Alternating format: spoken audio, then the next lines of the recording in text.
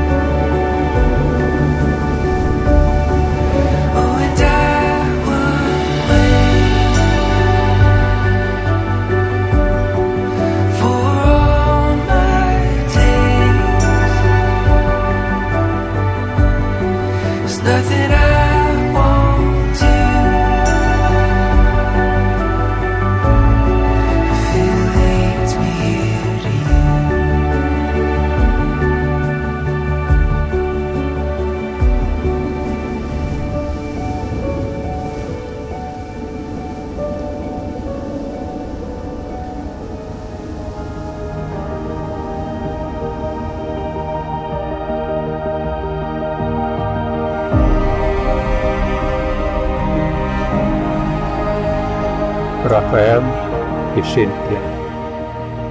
We learn from the wise and the saintly that we were made for love, and in love our hearts shall rest.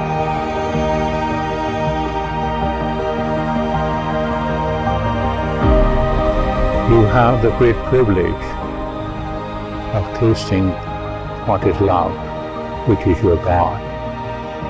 And you've come here this afternoon to manifest your love to each other and to manifest your love to those who accompany you here, families and friends. The big question always is, how can we maintain the pearl which we have to stay?